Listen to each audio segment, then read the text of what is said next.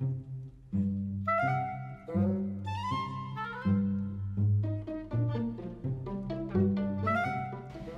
euh, je suis tout le temps en train de photographier.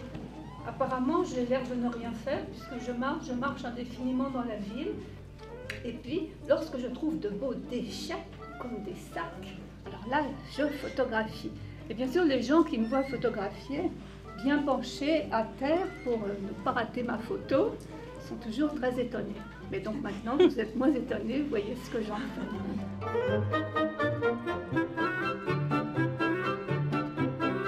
Le diptyque me permet de montrer ma dualité, à savoir le fait que je suis à la fois française et québécoise. Et euh, il me permet aussi de montrer euh, mon identité d'être humain, à savoir à la fois le conscient et l'inconscient.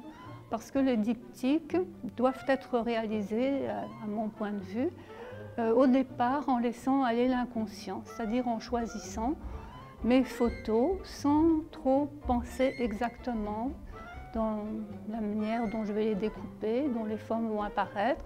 Et après seulement, le conscient peut intervenir pour mettre en scène et avoir un niveau esthétique qui me satisfasse.